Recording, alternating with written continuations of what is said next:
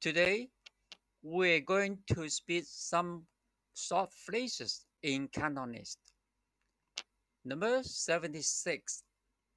Hurry up! Outside is raining heavily. 快啲啦！出边落紧好大雨啊！Hurry up! In Cantonese. 快啲啦！Outside is raining heavily. In Cantonese is 出面落紧好大雨啊。Number seventy-seven. It's good thing I have an umbrella. In Cantonese 好在我有雨遮。 It's good thing in Cantonese 好在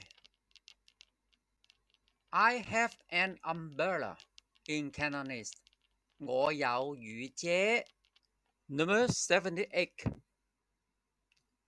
What season do you like best 你最钟意乜嘢季节啊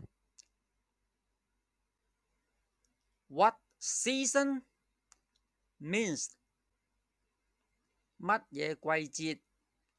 Do you like best？你最钟意？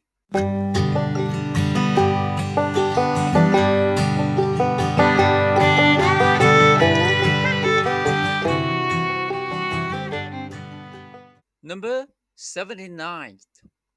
I like autumn most. 我最钟意秋天。I like autumn most in Cantonese is 我最钟意秋天。Autumn means 秋天。Number eighty. Where is this bus bound for? 呢架巴士去边度啊？Where is this bus?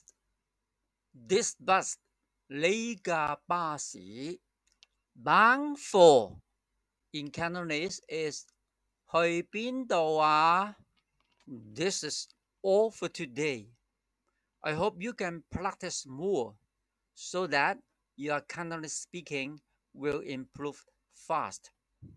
Bye bye. See you next time.